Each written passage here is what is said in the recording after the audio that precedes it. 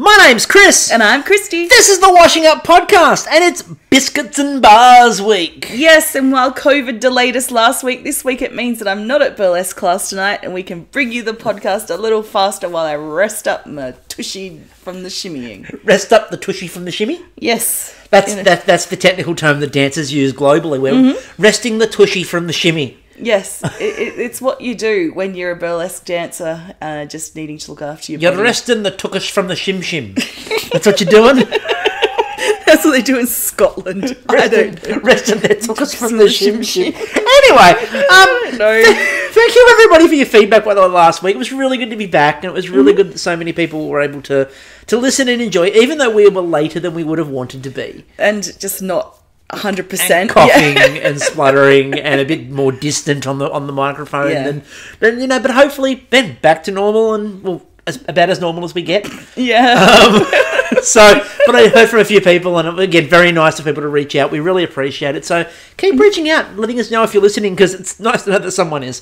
Um, so biscuits and bars. Indeed. Um, I do like going to a bar, and if they serve biscuits, I think that's even better. I you mean, know, any any venue that serves biscuits. like you know, in the olden days, they'd have what like jar of olives, cocktail onions, and bar like what not bars, pretzels. Yep. Did you know? I think it was Betty Ford was responsible for getting pretzels Mm-hmm. Into bars instead of nuts. Oh no, I missed. That was a fever dream I had. sorry, everyone. I'm so sorry. You've been watching First Wives. I've been watching First Wives. This has been happening a lot over the past week. COVID. Where I think I've actually like learnt a new fact and I've realised no, that was just a fever But it's normally halfway through you telling me the fact. Yeah, yeah. been three or four times in the last couple of weeks that Kristie's uh, the, The last week, week, yeah. that Kristie's been in the middle of telling me this Yeah. really detailed thing that happened, and halfway through she pauses and goes, "No, that's a fever dream." Because I was there and I'm there going, oh, that's right. And she, I'm like, no, no, she's Yes, not. Betty Ford went around and personally she spent time at bars. So anyway, God, here we go. anyway, let's get um, in. Let, let's get into things that are far classier, right? Yes. Biscuits and bars week. so in mm-hmm. biscuits and bars week, look. Normally we comment on you know what what the hosts are wearing or or what the, the judges are wearing, but this week. Mm. There's only one person we're going to comment on. Really. J gotta catch, Catch it all. Jomar doing his best Ash impression, impression, and I really hope you finally break through for that big first big Pokemon um, battle win. Tournament, yeah. Um, he was really channeling Ash from Pokemon, and the further down the episode we got, the more Ash-like he became. Exactly. I was expecting him to like kind of I don't know suddenly use the oven as his pokeball and suddenly What, what was he? We he And- gets, he gets to his and- fairy tale. I choose you. and out pops Anne. and she goes Anne, Anne. Anne. That's so okay. That's one. So, what would if if everybody in there, Yeah. Hosts, judges, bakers, mm-hmm. this is one for everyone at home. If they were Pokemon, yeah. what would their attack be? Oh, Bruno's the butter attack for sure. Oh yeah, Bruno just puts a, Butter! there's a butter slick that just takes out just take, or cholesterol, and it just Bruno's Bruno's attack is cholesterol, and it just gets you in like thirty years. it's a slow worker, but it's effective. He's undefeated. Um, but yeah, if you're listening and you pick anyone, any of the bakers, any of the hosts, a- any of the judges, what do you think their Pokemon attack would be? Mm-hmm. Um, and what I like, I still, I still have to explain to people. By the way, we don't write this down and plan it No. because that's literally just off the top of my head. So. We cut to Rosie before we go anywhere, and she's like, "They're like about you know biscuits or bars," and she goes, "I like a good biscuit, but I prefer a good a good bar." That's it. Those are my thoughts. First of all, never change, Rosie. Secondly, that got funnier later on where she said, I don't drink, but I think I might take it up now. you know, oh, he, she, she's the, she just pops over to John's bloody bench. Yeah, That's all you need. boozing up. Well, apparently. you know what she might like about bars? What? The Betty Ford pretzels. she doesn't go for a drink. She just goes for Betty Ford's pretzels. which are a thing. Look, I think I'm, I just assume I'm tapping into other dimensions. you probably are. Yeah. So anyway, let's get to the first challenge. The signature was a meringue bar. Meringue bar. Which does sound like a, a type of bar that you would find, and it's a style of dancing that happens there. It's Like like, a meringue. merengue. It's merengue. Yeah. It's a merengue bar. It's a merengue bar. you just have to come out with some flamboyant outfits and some maracas, and away you go. Barry Manilow in the background. Yes. Would merengue. No, we're dancing too much for what a royalty. Um, so you needed a cookie base, Yeah. meringue on top, whatever filling you wanted to. Yeah. Two hours. Now, now this is where we got. Um, I was trying to work out because at first I looked and I thought that Bruno looked like Uncle Bruno this week, like he was going to take you to the zoo. yeah. Um, card, sort of cardy, but a stylish cardy. The sty- stylish everything. And then I worked it out. If you look at a lot of these newer rappers, they don't dress like traditional rappers. They tend to dress far more like these sort of cozy, genteel grandpa sort of thing. Or if you, or if you've seen pop star Never Stop, Never Stopping, Adam Levine in the I'm So Humble bit. Um, Look, this is making sense because when you look at Lauren and where she's hanging out with her friends Yes. knitting, I'm assuming they're the new kind of hoodlums. they literally make hoods. they, they make hoods out of things and they just go and keep people's ears and heads warm. You know, we are coming up to the cold season in the northern hemisphere and they're just out there. Look at your ears. The only person in that in that pavilion taking care of their ears is Nigel. You know, yes, which I'm sure he's still keeping his Manitoba cred. But you know, the police officers come around and go, "Hello, girls. I hope you're not, you know, going to be hooding too hard today." And like, no, officer, just one hood each today. And he's like, Would you like some mittens? yeah." Now, I worked. yarn Out, bombing. You know, I worked. the- I worked. Out, I worked out that he was Beatmaster Bruno by when you? they asked him about what he wanted in this bake. Mm-hmm. And he was talking about the cookie, cookie base, blah, blah, blah, blah. And he goes, the filling. And this is exactly how he did it soft, tasty, sour, sweet. And it's like, he's a lyrical poet. And all they needed was Andre to just to come in then with Yeah. like a, a, a, a, cool- a cool lick. Yeah, yeah. It's like- Soft and tasty, sour and sweet. Anyway, so we cut to the bakers, and John announces loudly that he's working with time. Now, I personally would like to feel that Was he it on his worked side? that he worked backward from the pun. so he went, "I'm working with time. What can I put time in? Shit, let me think. let me have a think. Let me have a think. Let me have a think. I know. Um, he called them black and blue bars. Now, Mm-hmm. I'm going to say here, I'm Team John for this. Why is that? So why am I Team John? Simple. So Blueberries.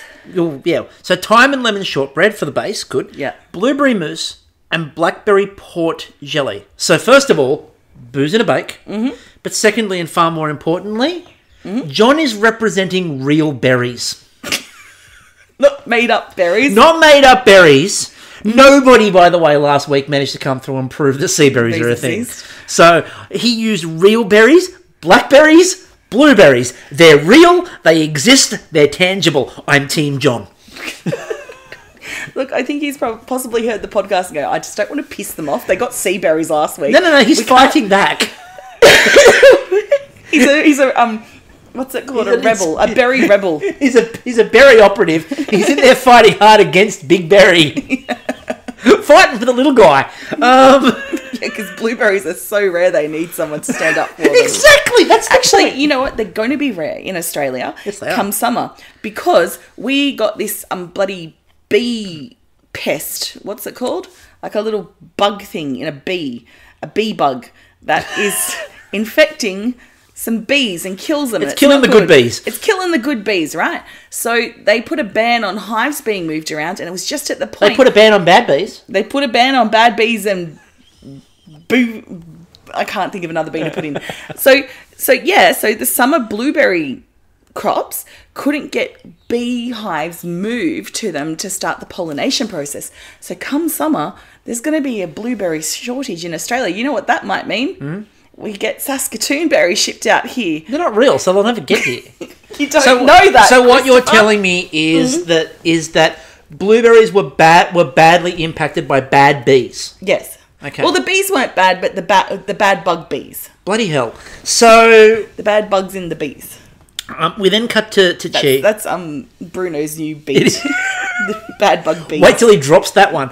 Um, So and then we cut to Chi. Now, now, now, now they were talking about the tropical dream bars that they were making, um, which were very sort of okay. So first of all, Yuzu was there, but I was fine. I've told you I'm okay with Yuzu.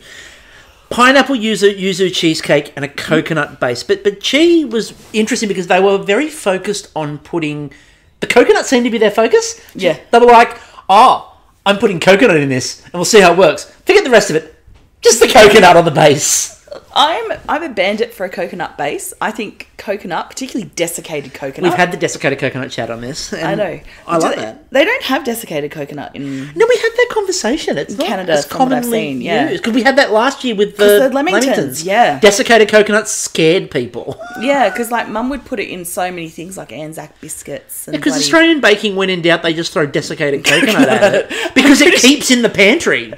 The main reason I think why Australian baking uses so much damn desiccated coconut is you just need something that's going to stay in the climate. It did mean when I played Vampire the Masquerade and someone came up with the term desiccation, like I knew what it meant because yeah, we'll get to more role playing games. Well, we're about later. to. Well, funny you should say that because we're going to talk about Nigel now. So, hmm? because in the promo they showed hmm. flames and fire and burning toast and everyone looking around panicked.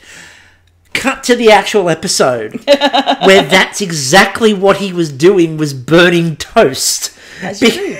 because he was inspired by the smell and the, and the memory of burning toast when he was younger and wanted to put this in his bar. Who who was burning toast? That like like was it you, Nigel? Were you just a bit distracted burning the toast, or was it your mum?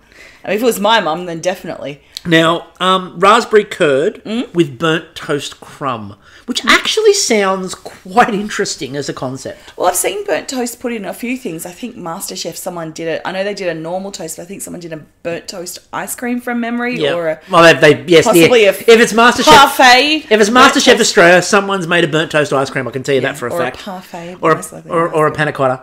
Burnt toast, burnt toast panna cotta's got to have been a thing. Um, now, more importantly, though, Mm-hmm. and I'm, I'm I'm going to, and he'll really hate me for doing this, but Aaron from the last series of Great Australian Bake Off last week was like, I think I noticed D and D dice in the background.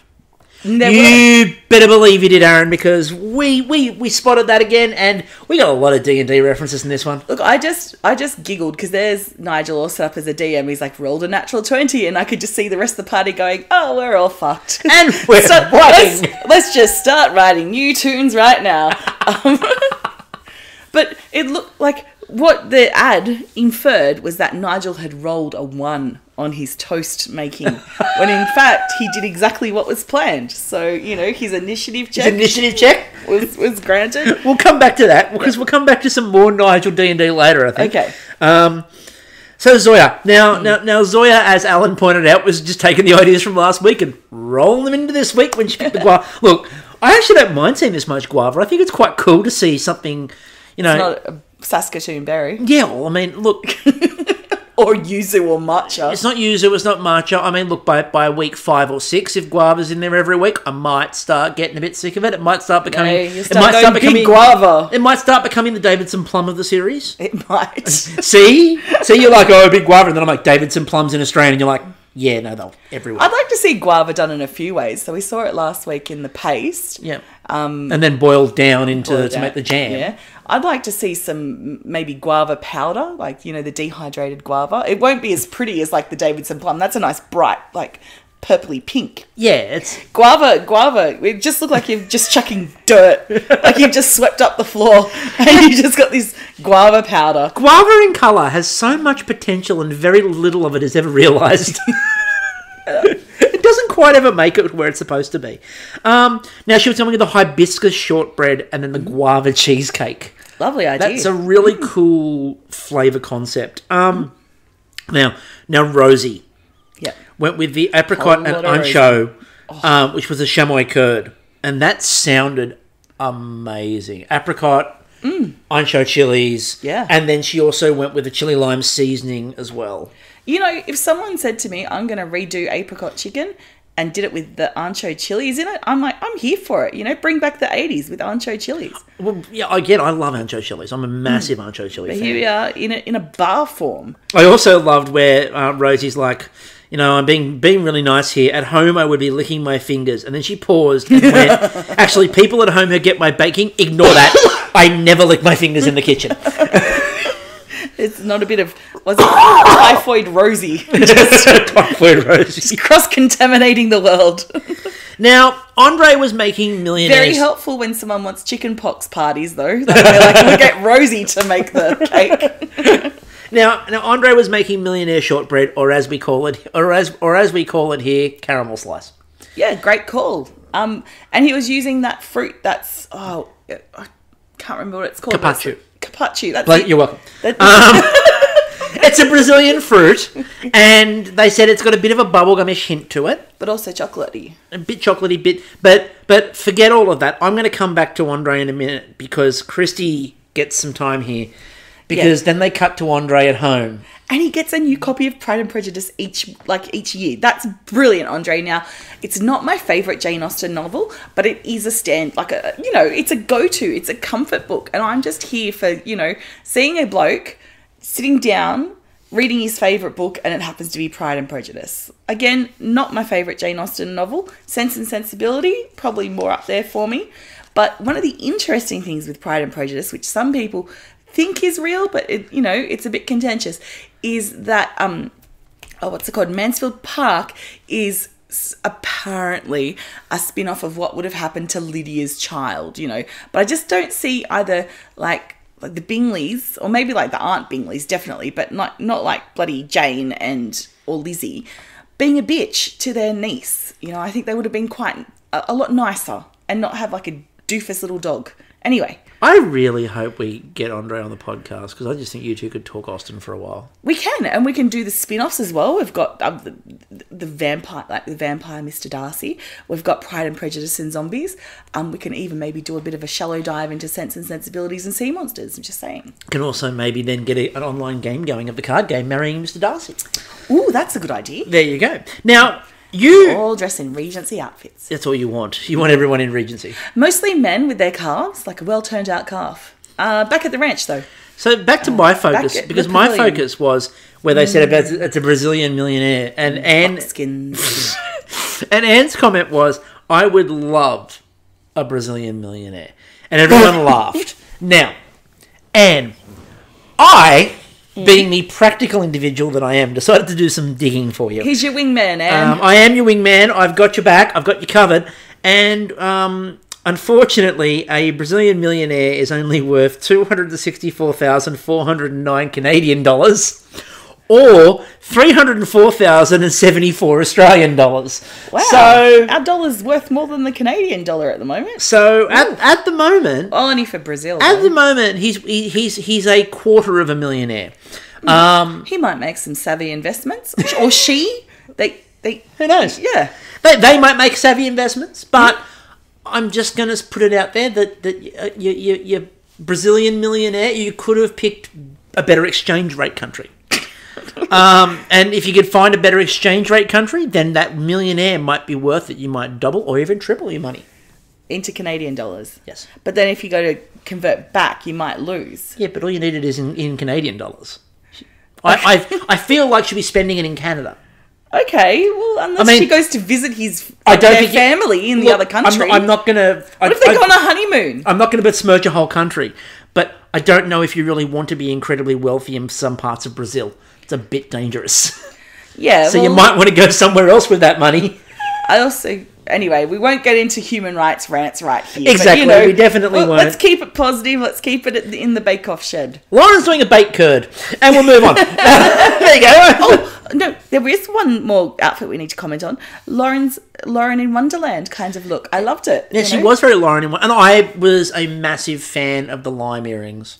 They were very cute. They were very cool. Um, she was making orange liqueur caviar. Now I've watched a lot of sorted food as they're making those bubbles, and Yeah. they're they're they're kind of the trend at the moment. A lot of people are making those, but they look they look really cool. And the idea should be they give that bang of explosion of flavour. But again, orange liqueur as well. So it's like you know. Cointreau. She's using Cointreau. They just can't say Cointreau. But It's my favourite, and well done, Lauren. I think that you know, add a bit of lime and soda with that. Way you go. Well, she went with you know the, the idea of lime and tequila, mm. and and a cayenne shortbread with that too. I like all of the spicy shortbreads. Mm. I'm a fan of the the chili in the shortbread. I'm a really big fan of that. Did you know chili is not an actual flavor though? It's just a heat. It's Yes, just it's pain. warmth, yes. It's just it's just it's just kink in a bread, like kink in food form. Sorry, kink in a biscuit. Kink in a biscuit. Chili is just kink in a biscuit. Okay. Um, I did love the fact that she wrote a card at school saying that her mum's favourite food was margaritas. Is there anything like that that you would have said about your mum? no. Uh, No, sadly, mum, no. my mum liked um really bad sherry, like cooking sherry. like it was just one of those things. Like I know that she had it there for other reasons, like for actual cooking. But there would always be a little glass of sherry. Like she was very Frasierin when she was the cooking sherry. Yes, yes, the cooking sherry. It's, as, as Frasier and Niles always broke out the cooking sherry. Also, we had, of course, Christy. Veneer. Now, Christy, Christy made Pride marzipan, which was incredible watching her make the layers, and she's like, "This is a lot of work." And all the lady gays are just cheering away, going, That's our girl. Yeah, represent, you know? Especially when she then announced she wanted to make the best queer bar in town by doing amaretto sour meringues. Queer bars are some of the best bars in the world. You know, they. Although, as Homer Simpson pointed out, they didn't have a fire. They didn't have fire escapes. oh, God, no! What? Just wrong. Something's wrong with this. Something's wrong with this. Oh my god, this lesbian bar doesn't have a fire escape. Enjoy your death trap, ladies. Which, first of all, points out just how open and inclusive Homer Simpson was. He had no problems being in a lesbian bar. He wasn't worried about the around, around him. He was worried about fire safety. Yeah, but I didn't. Okay, so knowing queer history, I didn't know how deep that fucking thing cut because there was, Yeah. like, a really. Anyway. Big problem. big problem with, with fires. Massive and- problems. And queer bars. And But no, I, I like the idea that she wanted the best queer bar in town in that form. It was very cool. Um, and I I love. went to a few queer bars growing up, I can tell you there weren't a lot of biscuits, but there was a lot of other stuff going on. um, amaretto sours. A lot of candy. Amaretto sours. Yeah, yeah, amaretto That's sour- exactly what we're sours. talking about. Exactly what we're talking about. Yeah. And as she said, I love amaretto sours, and I'm really gay. So here we are. Line of the century. it really was. And then we, we go to um, they people start cutting out their bars. They then cut to Jomar, who's doing his um, mango custard peppermint, and he had that lovely cucumber sort of top. Yeah. tri- it looked amazing. Anyway, the cucumber, gel. I choose you. Yeah, the gel that he put on top of it was really, really cool. Mm-hmm. I love that pattern that he had there. Now, then they come back to poor Nigel, who was um, under pressure because he had to wait for everything else to be done before his meringue could happen. Why? I don't know. Why can't you make the? Make your meringue and then just put it on top towards the. I couldn't work that bit out. Mm. Now, he did decide to pivot at this point in time, and then he did some more bread. Yeah. And put the bread because as he got the bars, they were melting and they were they were just collapsing. Yeah, there was, was- no structural integrity there. Jomar's come over and gone, mm, can't pass that. Can't pass that. Doesn't get past the test. I don't know if you've ever seen the the children's cartoon from the 1980s, My Pet Monster, but it looked like Yes! it looked like My Pet Monster was melting. Um, and so that's a, that's a deep cut, and I don't know if anyone listening to the show will get it. If you do, please gifts in the chat. Um, but it looked like they were melting My Pet Monster Oh. or Telly Monster off Sesame Street. Oh, that's even worse. It's more disturbing, Like, isn't just- it? Wow. Um, but he put the bread, so it was like you had this bar, and then you had a piece of bread, and then the meringue going on top of it. I was just there going, oh my god, is this? This isn't going to work. meringue It's on bread. toast. It's meringue on toast. which is I'm. But then he clarified it was sugar toast, which yeah, sugar toast. is Which, fucking brilliant. sugar toast is great. Oh. Um, and again, and, and a- common theme that I've also noticed here: Chi running over to help other bakers. She did it in the first episode a couple of times. She, they did it. They did it in this episode a couple of times. But it's good because Nigel helped Rosemary last week, Yep. and then he's come and got a bit of help this week. Yeah. You know, just the love going through the tent. No, they did a really good job. Well done. Well done, Chi. So, the judging. Um, Nigel. At first look, I thought they were s'mores. Um, it was Bruno. And he said they're not good visually. However, the flavour's great. And as Phew. Kyla said, the burnt toast makes sense with the berries. So, like, it worked. Um, Christie's. They said it was stunning. They were getting the amaretto. The lemon was perfect with it because the lemon gave, in Kyla's words, good pucker. you gotta love it when you get good pucker from a gay bar. What? I don't know. I'm talking about lemon in the gay bar. That she's. That's what I'm talking. Yeah, because there's so many lemons in the gay bar. Exactly. Um, lots of sour people. No. Um, they said that Rosie's was a Mexican fiesta, and I'm like, no, they're just they're just bars with a bit of chili in them. Um, the cookie was very buttery. They were said you get the ancho 1st then you get the apricot, which was really nice for the balance.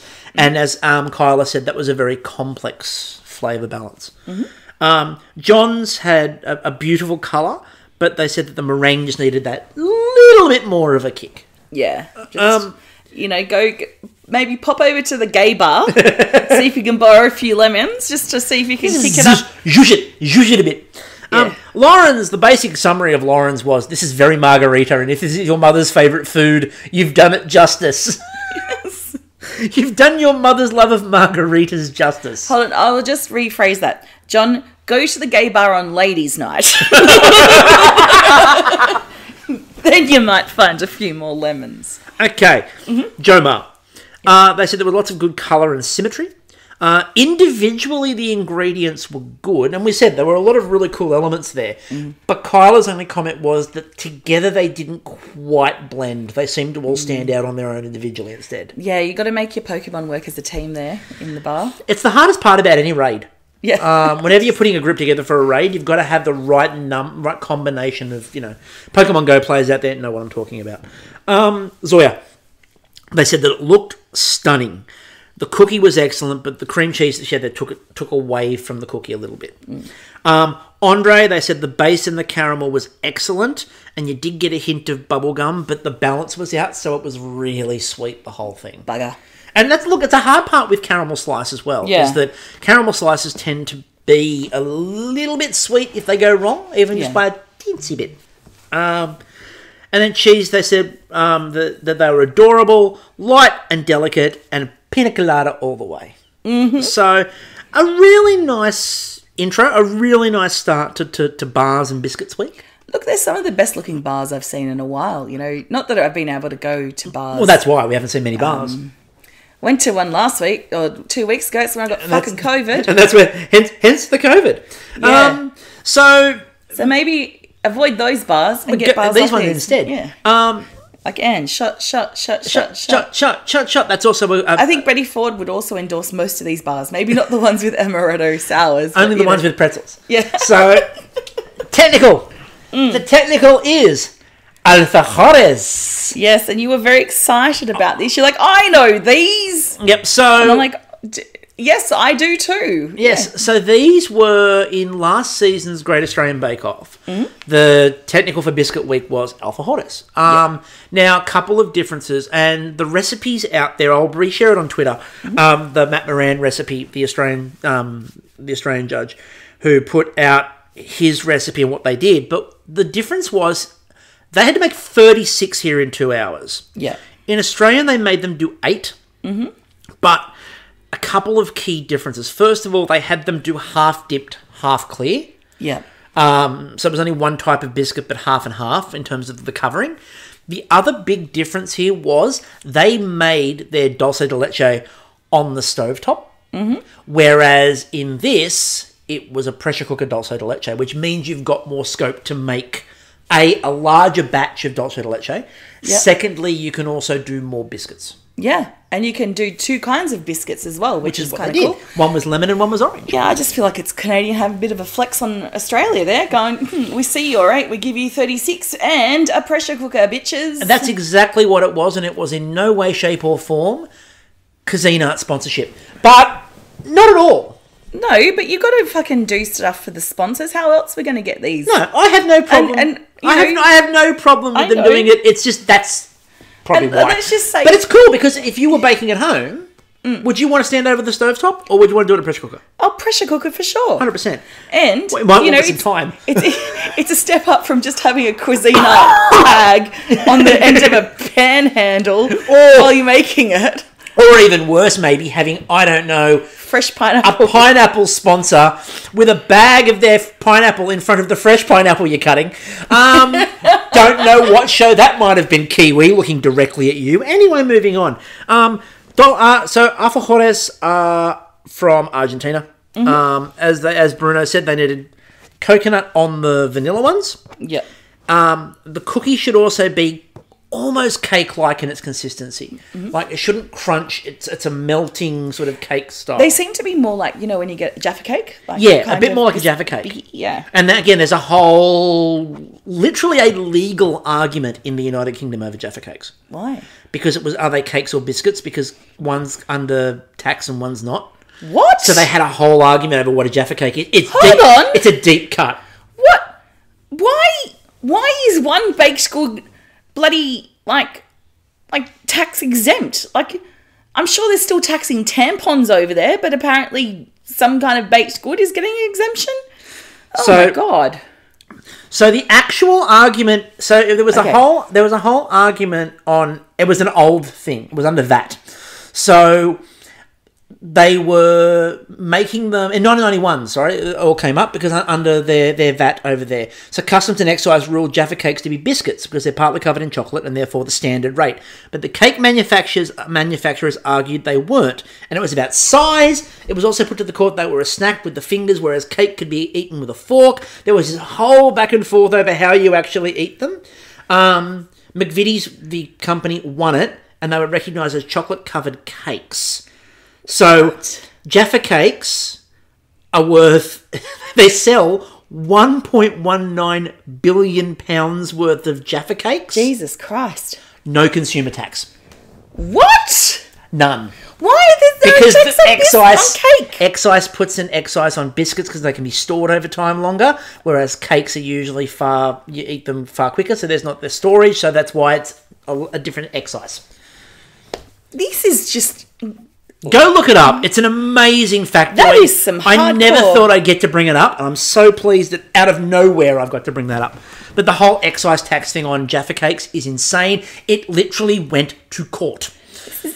okay. They had to fight over what they were, cakes or biscuits, and it wasn't one of those internet, you know, is a hot dog a sandwich kind of things. This this went to British legal tradition. Jesus Um, Christ. so anyway, let's get back to here because they got told they needed to pressure cook the condensed milk to make the to make the dulce de leche, but they were given absolutely no time. like like you, just put pop it in and away So you like go. Rosie was starting on twenty minutes, I think. Um, Yeah. Sixty-five is what you should have been doing. Mm-hmm. But so they all had to, to guess. At this point, John turns around and starts praying to the baking gods. And let's face it, Mm-hmm. the man's been giving out enough offerings to the baking gods by way of booze. that they should be responding by now. They really should. Um, so it's one of those ones where everyone was sort of guessing. So you're guessing how long the, the dulce de leche needs in the, in the thing. You're guessing how much orange orange zest and lemon zest to put in things. As John put it, no one measures vanilla extract anyway, so I'm just going to eyeball it. Yes, you just go with a whim. you know, Just feel that extract. it was very much a, a technical where everyone sort of knew what they were doing, mm-hmm. but was guessing a little bit. It was now. I'm just going to break from the technical here Do it. because we haven't done that enough apparently. Now you might have heard in the background. I don't know if it was picked up, but there was a curlew um, tweeting away. Well, it's like ooh, that's a curlew noise. There we are. Thank you, curlew, for coming in on time. Um, now curlews are a bird that marks spring in Sydney. Um, you don't hear them for the rest of the bloody year, but they come out this time and annoy the shit out of people. I quite like them myself, but apparently some people, maybe because it's at 5 a.m., get a bit shitty. But I'm using that as a segue over to the birds that we've seen this. Now, there's a little brown bird. bird corner. Yeah. So they, they went to a little brown bird that was on the on the ground. Now I put up Canadian little brown bird and Nothing not- came up? Nothing relevant came up. um, now I believe, and I did have a response on Twitter that the yellow bird because they showed another one, Yep. possibly a goldfinch. Mm-hmm. It's got it's yellow, it's got black wings, and it's got like eyebrows like Yeah, there- Eugene Levy. There was another one, yes. It's- it, it was very Eugene Levy, you're right. like that's, that's all. I'm going. It's got eyebrows like Eugene Levy. It has to be a Canadian bird. It was very polite. yes. um, yeah. So some some good bird action. Um, I got a bit lost. I don't know if there are other birds up there. I might have another rewatch, see if I get any more birds. But um, If, right. if, if you did notice a bird and you want to tell Kristie what it was, please tweet us. Tweet us back. It's appropriate to tweet us. Oh, I think I mentioned in the other podcast we had those fucking annoying birds show up. Yes. I got an ID on them. Yes. The, the bird, they're a wattle bird. Okay. So So, yeah, we did have a bird show up in the middle of the week, and Kristie's big big on birds, as we know. And um, yeah, they were very annoying. We didn't know what they were. no, they have like a chuckle noise. Um, and they're hanging out with the Australian miners, and they kind of look like a bigger Australian miner. But I'm like, mm, I don't really like your call, but you know, welcome to the area. Um, yeah, and luckily a friend of mine is a mad twitcher and was able to identify it for me just going, they make this weird noise. And she's like, oh, is it a wattle bird?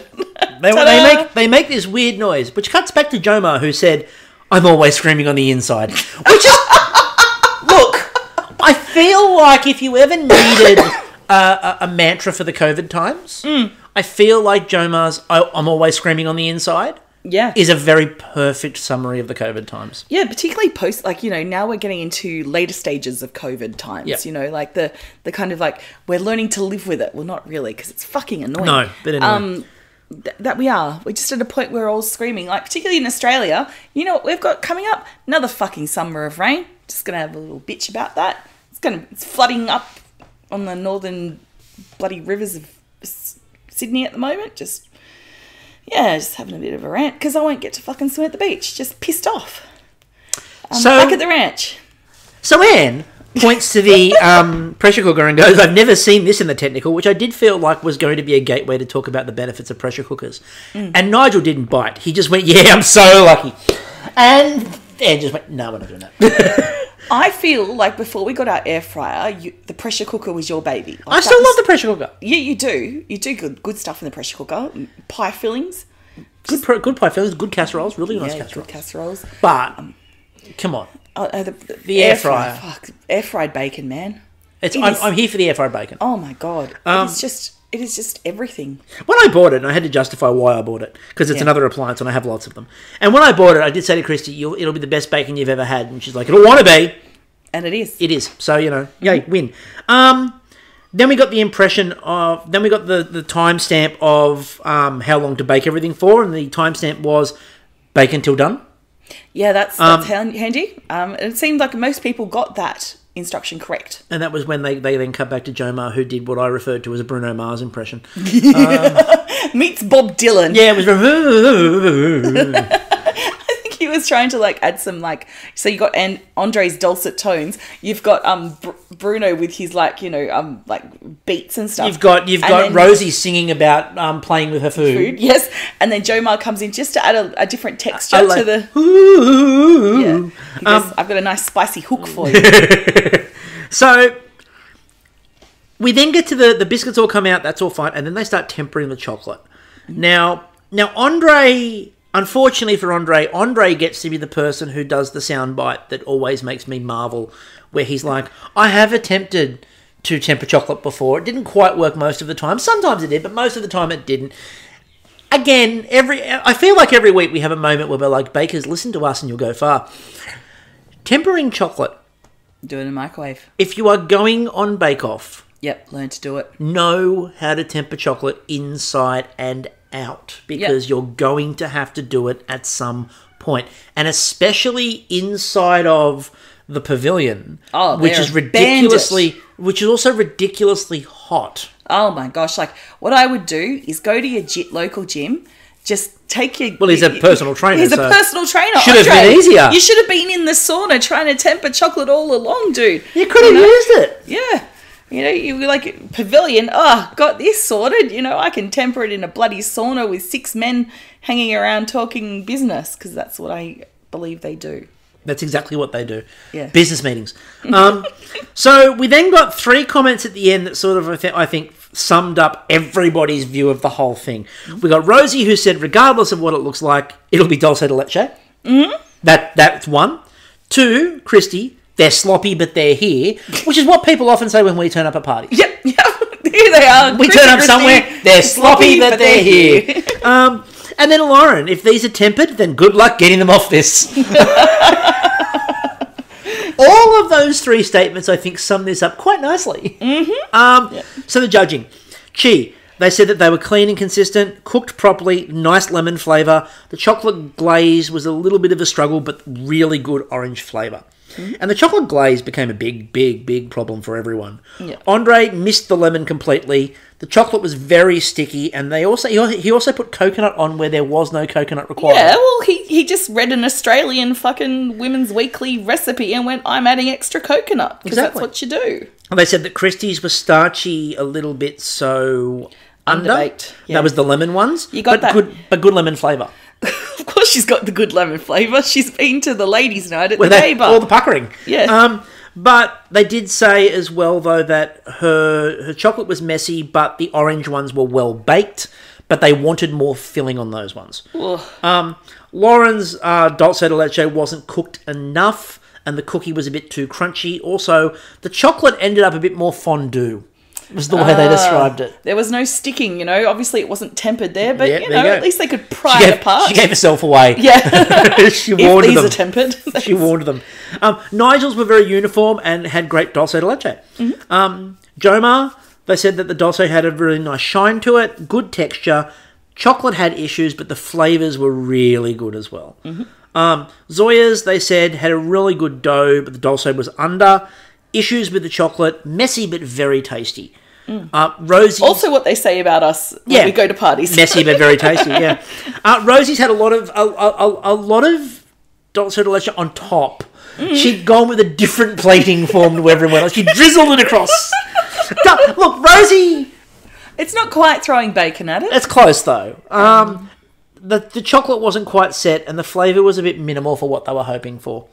Um, John's were also inconsistent, not crunchy, no lemon, chocolate issues.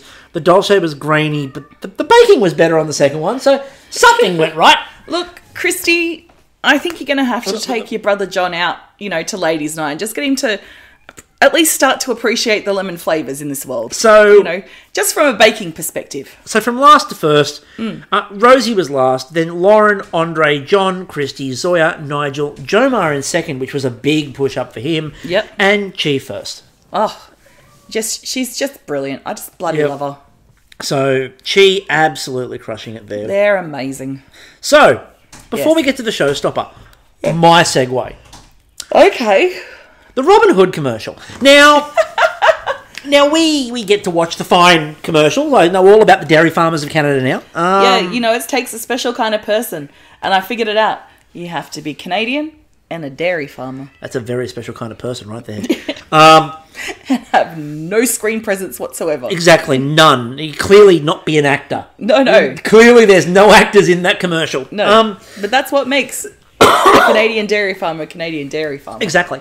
So, the Robin Hood commercial. Now, not Mm. the one that some people have seen with you know past bakers, Colin, etc. Um, Am- Amanda, your cousin, is in one. Yeah, she is. Um, They were doing um almond flour. they were indeed. Almond I'm talking oil. about the one Mm. with, which is designed to encourage all those amateur bakers out there to give it the red hot college try. Now, apparently, she's good enough to crack an egg with one hand. I mean, I'm a bit dubious about that because you don't want shell in it, and like she's cracking it one-handed on the side of a pan, and Well, that's, that's it's guaranteed be- to, shell. It's one hand on a on a bench on a flat surface. You can do that. On a pan, My or something nephew like does you're that. Gonna crack he, it he does not get it in the bowl at all. at all, but he can do it one-handed. But my biggest problem with this commercial is not the cracking the egg one handed, because you know that's very possible and very plausible. But she then turns around and turns the cake tin upside down and shakes it in midair. Who pulls the cake out of the oven and goes, "Let's get this cake out now," and just starts randomly shaking a tin upside down? Well, when you're a shit baker like me, love, and and it does stick to the base. Yeah, but you don't start with that. That's a later tantrum. Whereas she pulls it out of the oven, turns it upside down, and just flicks it. Just just straight shaken. I mean, look, I, I get what you're trying to do. You're trying to encourage those who might not be the classiest bakers to give it a go, because you're all bakers deep at heart. I get that. But maybe don't have her take the cake out of the oven and fling it from the pan upside down, just- way off the bench. Like, Maybe she's a basketballer and she's there doing a bit of shake and bake. what's gonna happen? What's gonna happen when the cake hits the bench? It's collapse. It's how the cake crumbles, Kristie. It's how the cake crumbles. But you know what? You don't have to pay tax on it if you're in England. exactly. Ha ha. Showstopper. Um, yeah. fairy tale made from cookies. I'm here for it. I I'm I like fairy tales. I particularly like the like the earlier versions. The really brutal ones, yeah. Yeah, anyone who loves good retellings or, or deep dives into fairy tales, brilliant author, Australian author um, called Kate Forsyth. She's written some brilliant ones. One called Bitter Greens, based on the Rapunzel story. Um, what else has she written? Um, the Scarlet Thread. Um, and anyway, she's written quite a number of them, and they're brilliant. I can just and she's done. She does a lot of podcasts and stuff like that about fairy tales and her research into it. So, cannot recommend her enough if you like a good fairy tale. I thought it was a really, I thought it was a really cool idea actually because it gave you the ability to have the the really pretty bake and the three D Yeah, bake, yeah. But at the same time, you could you can and you could put a bit of your personality into it as well. Absolutely. Look, you know, we got a bit of Scan- Randy Scandy action with a bit of uh, the the goats with the three Billy I love the three Billy Goats Gruff. Billy Goats Gruff. That was one of my favourites growing up. Hmm. You know, I just I just felt for the troll though. Um, Yeah, well, well, we're gonna get in, we're gonna get let's get into it, shall we? Because okay, because I, I feel like we're gonna have a moment during this, but or several. So they had to be had to be three dimensional. They wanted the engineering, and you needed two different types of dough in there. Yeah. So that was important. So Lauren did the three Billy Goats gruff. Um, and as she pointed out, I started randomly learning Swedish as opposed to something else useful that I could do. Now, We we beg to differ, Lauren. Swedish is very useful, particularly if you get into Eurovision. or mm. IKEA. Oh my god, you will know what a huff and fluffer is. I like knowing what a Flugel is Yeah. because I don't want to get it home and I don't know where to put the Flugel And like Lauren could be like your IKEA Sherpa. She can like take you there and, and tell you how to get out that too. She can because it takes forever to get. You've got to go through the hall of meatballs. you have to go through the hall of meatballs. Um, she also went with the with the with the pepparkakor, which is the um, Swedish ginger snaps. Now, I really like the Swedish ginger snaps. They're the ones, you know, the the ones you can buy here in the red box, the ends. Oh, yeah, they're the Swedish ginger they're snap. good I love ones. Mm. Swedish ginger snaps. Um, and also an almond shortbread, which I'm fine with. I'm ambivalent on an almond shortbread, but I love a Swedish ginger snap. um, now, John. Yeah. Now John did the fairy door. Now well, let's get into the let's get into this one. So I'll go through what the bake is, and then Yeah. we'll go into the fairy door story. So oatcake base, and then a kransekake. For those of you going, I've seen that before. Um, International Week Season Three Canadian. Yep. Yes, you have. also, Paul Hollywood did it on British as well, but who cares?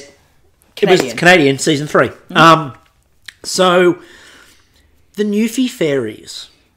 They sound like they, they, they're like they're old school fairies. They're they're they're pre Disney fairies. They're pre Tinkerbell fairies. Love it. Here for it. But bread, like, is that an offering or what you have to put on the ground to get home? It's no. Well, it's just, he just said that you need to have the bread in your pocket. Um, it's an Alanis Morissette lyric. Um, she's Canadian. I've got one bread in my pocket, and the other is holding off a scary fairy. um, yeah, it's I, I think it's great that you know his grandmother was making sure that you know he's going out to pick berries and he, she's making sure that he's not going to get taken by fairies. Like I just don't think enough grandparents these days take the um the this is the welfare of the their welfare of grandchildren. their children seriously. You know, they're all like, you know, look both ways when you cross the road, but no, like maybe a bit of iron Let's- in your in your pocket or some bread in your pocket will keep the fairies away. I mean, look, it's, it's very easy to look out. For Maybe the, their bread's high in iron, and that's what's doing it. possibly. It's very easy to look out for the obvious. You know, the obvious. Maybe they're concerns. gluten intolerant fairies. So the fairies can't handle gluten. the Newfie fairies can't handle gluten. I mean, look. Of all of the weird theories I've ever heard about baking, Mm-hmm. and all the weird things I've ever heard about Newfoundland, Yeah. fairies that are gluten intolerant is not in the top ten. No, I really want to go meet these gluten intolerant fairies, and you know, I will go pick berries for you know. Obviously, not your grandmother John. I assume that she has I love- gone to the through the fairy door. I loved the speed, by the way, at, at which Kyla was like, "We better go back some bread." um, now Rosie, Rosie was using gingerbread, um, and she was trying that creepy floor, that patterned floor, marbling on the floor. She was going for. Which So she was going for the the swans, the twelve dancing 12 princesses. Oh, You know, that's a great one. That's what um, Swan Lake's based on, I Yes, but another one about men coming and stealing people. Oh, look, but most of the fucking like fairy tales were they were kind of like girls don't open your legs and have sex and enjoy yourself because men will steal you. Hang on a shit, minute, hang on a minute. and you'll end up in the Hang on, by the way you're telling that story, yeah. Lauryn Hill's That Thing is a fairy tale. Girls, you know you better. Watch out. Some guys, some guys are only about that thing, that thing, that thing. It's a fairy tale. So Lauryn Hill was essentially writing a song. The Brothers Grimm. The Brothers Grimm. She- That second verse was dedicated to the brother with it. No. Um, so I, I, I'm stunned. I've just worked it out. Lauryn Hill is writing modern day fairy tales. she is. Why is she so good? look, you know, a, a lot of modern morals actually don't fit into to past fairy tales because a lot of them were. Yeah. I learnt this a lot from Kate Forsyth. Um, th- they were built on like older myths and Yeah. kind of you know oral traditions and stuff. So, um, you know, they advance over time, and we get newer like okay, 1950s Sleeping Beauty getting a kiss with you know while she's asleep without consent. Okay, back then. These days, pff, you know, that's not consent, fellas. So you know, th- there is evolution to morals, but I, I just don't think there was enough blood and gore No. in these in these fairy tale bakes. I get it. We're going for pretty. We're going for whatever. But why didn't someone do like like biscuits that were Cinderella's foot and the Cinderella's like stepsister's feet, which are being chopped off to like her toe was chopped off to fit into the glass slipper. Like that'd be great. Like a bit of red isomalt, bit of jam coming down the side. That would have been fantastic. Like some of the really gruesome parts of the Brothers Grimm, Mm-hmm. you could have some really good stuff with that. Although, just to get in there, and before we move to the, okay, I wanted to the next one, but just quickly, um, Rosie was using a butter cookie with raspberry ganache. Now, See, raspberry ganache could have made those swans bleed. you're quite happy to make the swans bleed. You're quite happy to cut off the foot with the sh- in the shoe and blah blah blah blah blah. Yeah, why? So cheated Hansel and Gretel. Witch in the Oven edition. Your take. Look, here's this woman, right? She's gone, fuck you all. I am going to go live in the woods, like, fuck the world. Um, and she's like, obviously, I don't have any building materials, but I've got all this confectionery, so I'm just going to build my house out of it. And that's a lot of skill. That's a lot of skill, and it doesn't melt in the fucking rain. Or if it does, she's having to rebuild her house every, Every, time every it rains. rains. And it, like if you're living in a Bavarian forest, that's a lot of rain. raining. Yeah. And these little shits come along, like, oh, we're lost. Our parents gave us away. And they started eating her house. It's like, dudes, you could have one knocked on the door and asked. Like, that. that's the thing. She was obviously home. Um, and, like, this woman doesn't have children. So I don't think she quite understands rearing children that you, one, don't put them in cages. But maybe she, you know, she went there because she was a cannibal and didn't want to hurt people. But here's some food just rocking up on her doorstep. I mean, my, my, my counterpoint, my, my one counterpoint to that. Yeah. Um, so she didn't have the building materials to make a house. Yeah. She did have the building materials to make a cage. Yeah, like obviously there's enough metal to make a cage, but not enough to make all the nails for a house. And you don't need, you know, like maybe she likes trees. I mean, it's plausible. It's plausible. She just, obviously had a lot of sugar cane, I just have to. I, look, I have to a lot of refined sugar. I'm on the witch's side in this. Yeah, I feel like she gets a really rough. These people come to her house, eat her house, and then like you know they they throw her in an oven. they do. But there is a, a meme or like a Facebook post going around at the moment um, that is about how that tale came about, which is interesting because it's Bread Week next week, and this would make for a very interesting Bread Week challenge. So apparently, there's a Slavic tradition called Peripekanii or something like Fluent. that. She's Oh, it's basically a rebaking of a child. So if a child wasn't thriving, they'd essentially cover the child in bread dough Mm-hmm. and as the yeast rose like they didn't cover its nose or its mouth Yeah. They'd put it in a warm oven or by the fireside Yeah. to kind of encourage the yeast to to thrive and they'd do this three times and each time they'd like remove the yeast from around the child's Yes. airways and this was supposed to Give the child a yeast infection. Yes, That's and find exactly out if they're gluten intolerant. Exactly. And if they were gluten intolerant, they were obviously pea. Uh, uh, sorry, Newfie fairies. Newfie and- fairies, They're and obviously then they were thrown in the oven. Um, ta-da! We've, look, we Full know Canadian legend here. But I'm Um, now expecting next week in the technical challenge, you know, you open up the, you know, uncover whatever is hidden on the child. child. so uh, she was actually using maple walnut sandwich cookies as well with maple cream cheese frosting, and she was trying to make those um, sandwich cookies look like donuts. Um, Zoya. So Zoya went with Rapunzel, Yeah. uh, black pepper and cumin, and horseradish. Yes. And she made the little, you know, she made the, little horse. That was brilliant. Yeah. And then um, cardamom and fennel spice gingerbread as well. Zoya's flavors are really cool. And I love the execution. Like, she didn't, like, they didn't show any struggles for her bacon build. Zoya had a very beautiful. Zoya had a very minimalist week in terms of coverage this week, but like the piping on the hair, for Oh, example, down the side of the tower, and we'll mention it now because again, there wasn't much Zoya in this episode. Look, I'll flesh you out, Zoya. So we're doing a Rapunzel act as one of our group performances. I don't know when we're performing it, but essentially we're Rapunzels that have gone a little bit insane in the tower. Um, Yeah, exactly. May kill the prince. I Possibly. don't know. Who knows? You'll have to see it to find out. Yeah. Um, yeah, the cardamom and, and, and fennel spiced gingerbread's a really cool idea too. Um, lots of cardamom in this series. Yeah. Um, Nigel. Now Nigel went with jasmine and Earl Grey sugar cookies and dark coffee gingerbread. And what was he doing, you may ask? A dragon based on his gaming. yes. So I guess you know we can say that's a fairy tale creature because It, it is. I mean, look, the D, the DM sort of creates their own world. So yeah, what sort of? How do you go as a DM? I don't DM. You don't DM. Why not? Because I'm shit. Oh, I'm a shit player. do you mean? I have ADHD and can't focus for very long times. So I usually build glass cannons, which are basically tunes that are overpowered when it comes to attack. But you know, as soon as like I don't know Something swings.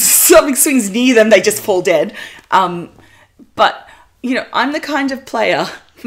so we started a new campaign, and my friend had spent a lot of time building this world. And we're just supposed to go and check out this castle. But this castle had a talking skeleton head that I decided to pack in my backpack. Turns out it, I'd unleashed like the kind of like end of world doom kind of shit going on because I decided that a talking skeleton head would be really cool to take around. so you destroyed the whole game because you had the talking skeleton. Head. It, it went in a very different direction. Let's just say no that. one was anticipating that. No, no, no one was anticipating that. It, um, So what you're saying is that you're a DM's worst nightmare.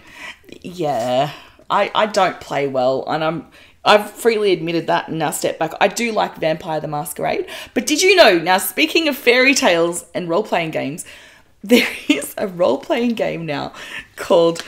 Oh, hold on, let me find it because it's got a very specific name. So. Back in the day when Hans Christian Andersen was fanboying over Charles Dickens, Yes. he got to go and live with him. Yeah. Now Charles was like, "Okay, how long are you going to be here?" He's like, two weeks max, two weeks tops. You won't know I'm here." Yeah, bullshit. He was there for at least five weeks. Yeah. Really wore out his welcome, right? So there's there is a role playing game called Trapped Due to Hans Christian Andersen, or Trapped in Your House Due to Hans Christian Andersen. it exists. It's on Patreon. You can play this. And now I really want to You can play a whole game for your trapped in my Hans, Christian Andersen. Yep. Um, and you know, Oh god. I mean, we're finding, Nigel, an idea? yeah, we're finding. I mean, apparently the, the Danish are very well aware of Hans Christian Andersen and how fucking insane he was.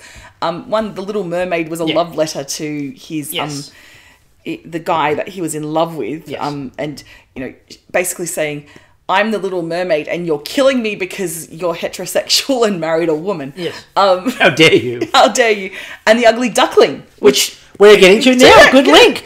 It's You've on linked. Because Jomar's next. Woo! And Jomar talked about that, you know, because the Earl Grey pink peppercorn gingerbread that Jomar went with, and those that meringue that he did for the each of the duck, and he said, "I, I see the ugly duckling as more of a, a coming out story. It's that idea of you know that duckling's not what you expect it to be. It's not what everyone wants it to be, but it's going to be something different and something you know better. Yeah, and look, I think a lot of us related to it growing up, particularly like those of us who are neurodivergent. Like looking back now, like I really hard hard identified with that. Now I know I've got ADHD and stuff. It explains so much. Hmm. Plus being pansexual and all that hmm. kind of shit, you just feel it, don't you? Yeah. Yeah. I'm Um, a little bit different. a little bit different. Um, And you know what? I might be a fucking swan that's going to bleed. Although I'm not the kind of swan that's been like kidnapped by a guy. And, no, definitely not. Um, and, and being held by a wizard. And yeah. We then cut quickly to Chi, Hmm. who was just um, making up more neon colours because if there's one thing that they need, it's more neon colours. Hell um, yeah. But then we cut to Andre. Um, now Andre was making light and dark gingerbread um, for the carriage ride, Where he and and and and then he sort of indicated that he could sing. and then just set Ann's heart aflutter and set everyone in the bloody He was singing his Pavilion. recipe, but Ann. Like Zoya was losing her shit back and forward between the benches, going, "What is going on here?" Yeah. Meanwhile, you can just see Ann, and she stops and goes, "I need a moment." Yeah. It, that was beautiful. Yeah, it was fantastic. And imagine that, and you're on a, a like a, a, a romantic ride with your friends in Central Park, As you are. as you are, and then Andre just busts out this like you know beautiful voice, just serenading you as you clip clopping along. And remember one of my favourite ones of the whole thing, which Do you was, reckon he serenaded them with Pony because they were on a horse? I mean, it's Or not what I. horses by Daryl Braithwaite. Neither of those are what I call romantic. I mean, I don't know. Have you seen Channing Tatum? I have. Anyway, um, we got to one of my favourites, which was Christie's. So she did the Jade Rabbit, which is a Chinese story when she was going to Chinese school. Oh, I love it. Um, almond five spice sugar cookie with the black cocoa and cardamom gingerbread, and the color was so striking and vivid, and her work with the icing and the coloring Mm. and the texturing. Oh, the moon was beautiful. I loved it. Like I, you know, when they came to the judging, they said one of her biscuits was a bit Hard. hard, but the rest of it was great. The Flavors were great, and they and like Kyla commented specifically on the quality of her design and the quality of her work. Mm-hmm. And again, that layering and texturing of the moon and the vivid purple that you got, just the vivid nature of the color. And look, I'm I'm kind of interested that Kyla went straight for the gold coins because like that rabbit is responsible for making like the I think like the the food of the gods Yeah. in in Chinese mythology. Yeah. So you know she's there essentially eating ambrosia. She's like, yeah, I want immortality. I would you." too. Anyway, um, now John was trying to make rock candy, and then they cut to Nigel, who's trying to make the dragon breathe fire by using isomalt. Now we know that isomalt is um, terrifying in Bake Off because nine times out of ten Don't work. they don't work. But for someone who's only done it twice, and this is the second time, it worked amazingly. As as Kyla said with the mm. judging, you you, you found your jam. Yeah, this is. It looked beautiful, and like, like they were commenting that his dragon looked like it'd seen a lot of like, you know, battle. Who cares? I liked it. I thought it was. I liked it because it was a far more realistic sort of animal style thing rather than an overly stylized. I liked the, the the ruggedness of the dragon. I mean, wh- if you get a clean cut dragon, I mean that's Pete's dragon, and we all know what. Yeah. Puff the magic dragon, which No, you know. no, no. Sorry, no. sorry. You know the rules. Sorry. Ja- Jackie Paper is still visiting. Anyway. Okay. Sorry. Um, so we then got um, Chi once again being the awesome person that they are, helping Lauren. Mm-hmm. Um, and then Rosie with one of the lines of the, of the series so far, which is, "I don't drink, but this might be time to start." she wanders over to John's bench. And goes, "John, what do you got?" And he's like, "What do you want?" And just opens the still. Um, so the judging, uh, Rosie, they said it looked like a dollhouse. Light ginger was a very even bake. And then he starts coughing and he goes, You said this was the light ginger? she nearly killed Bruno. Oh, you know. Um, Lauren's had great colour. The almond shortbread um, was really good. The marzipan tasted was had a really strong taste, but there was a hint of burn. The gingerbread was really good um, on hers though. yeah. Um, Nigel was big and ambitious. The second um, time he's ever done isomalt work, which they were amazed by. The jasmine cookie was, as um, Bruno put it, ugly but tasty. yeah. Um, Zoya, they said it was absolutely clear what the story was, and it was lovely, and the images and the piping was spectacular. Um, the radish guards were incredibly clever. And and Kyla said that she could have eaten all of those radish. Oh yeah, they were stunning. Yeah. Um, and right pepper level in the horseradish. And that's what Bruno was worried about. He's like, it could have been too much horseradish. Perfect levels. Um, John, they said it was very enchanting. At which point, Ann let out a little mischievous laugh in the corner that sounded And like. now we've found out that Ann is a Newfie fairy. Is a Newfie fairy. we won't see her next week though because it's bread week, so no Ann next week. Um, the oat cakes were very well baked, and the baked, and the kransekake base was really good as well. But they needed a bit more of the crust on the outside of that kransekake. Um, Chi, they said that the detail was amazing, um, really skilled work. The Earl Grey sugar cookies were lovely, uh, and the sandwich cookie felt like a donut. No comment on the social mores of throwing the witch into the oven, however. So Look, you know, disappointing, but uh, you know, we're pushed for time, and they had to keep it positive. yeah, And, exactly. Um, You know, um, Im- the immolation of, of women, like single women living alone, not important not important apparently. compared to the mouthfeel of a donut. Yeah. So Andre, uh, they said it was missing a few parts. Unfortunately, um, the Earl Grey, the the subtle flavour on the light um, gingerbread. The dark was really thick, and they were worried that it wasn't going to bake, but it did bake through, and the aroma was nice. Now you kind of you're in a bit of trouble when the feedback they're giving you is nice aroma. Um, I felt bad for him, and look, he didn't do badly, as we said. Like we, we like weeks where someone goes home and they don't do badly. Yeah, Didn't do badly. It was just someone has to go home. yeah. Um, Jomar, the design was very clever. The Earl Grey was crunchy and peppery, and they said that those meringues just vanished in your mouth once you, you put them in there. Kyla eating a little duck. It Yeah, was- eating a duck. I noticed how she didn't go for the ugly duckling. She's like, I will get one of the bullies. Yeah, I'll get a bully. Yeah. Um, oh, if only you have like a giant Kyla going around when you're a kid just eating your bullies. That'd be hilarious. And then you had um, Christie's, and they said it was a real showstopper. And Bruno said it hijacked my eyes and my mind. Not the rest of his body, just his eyes and mind. Um, so his liver is still out there. His spleen wandering about. Well, good thing his liver's still out there, given the amount of booze that's in that shed. Ah, and that pavilion. Um, so good snap, hard on the t- hard on the teeth, but nice. The five spice in those coins, perfect. Yep. Um, You know why? Immortal rabbit. immortal rabbits, Just just always. making it. So Food of the gods. The gods would go. They they have to be perfect. Otherwise, fuck you. Exactly. Like, like how can we survive? now when they cut to the table, um, Like if you've got to eat the same thing over and over again to remain immortal, like one, you're a vampire, or but two, you'd want it to taste good, wouldn't you? Like, You would. You like if you had to be offered, like if you and I were like, hey, here's some peas, and if you eat peas every once a, a year, every year, would you do that to stay immortal? Like, could you do that? I mean, I'd suffer. Yeah, I'd do it, but I wouldn't enjoy it. It's like if you had to drink your cool once a day to live. No, I'd. I'd, I'd eat them like I would if there was no chewing that was necessary. If Swallow I could just them? swallow them like a tablet. yeah, Just and I can swallow pea. tablets without water, Pop a so I can do that. Yeah, yeah. Um, That's how we will get around that when the when they ask us when to they to ask us, peas for yeah. immortality. Um, so at the table, Chi and Christy were excellent, and they said that Zoya also had some great flavors. Mm-hmm. Um, now at this point, I knew sort of where this was going because um, they said that Nigel needed more finesse as the other person that might be going home next to uh-huh. Andre, and I'm like, "That- that's not. yeah, No. the clear storytelling there, and you know, Yeah, you got to come up with the second person.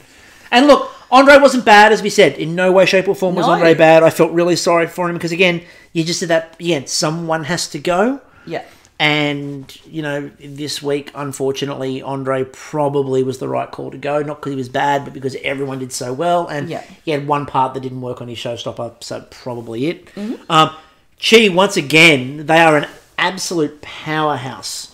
oh my god, they just pulling it out of the like just just pulling ahead of the pack. And as Just as as as as Bruno said, has not had a bad bake yet. Has not missed on a single bake. They are they are really going to be someone that's going to be hard to beat.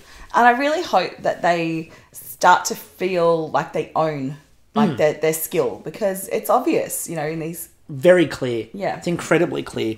So that's biscuits and bars week. indeed next week. Next week is bread week. Yes, Always a big week. It is. It's it's when we get some dough action. We get some one of the, there's there's a one of the big innuendo and pun weeks. it's a big innuendo week, bread week. I really hope that Alan and Ann have been working on on that and have, are going to bring something new to the They've been mastering their bread puns. Mm. I really hope so. You know, we'll always get a rise to the occasion, or you need to do that, but just something new.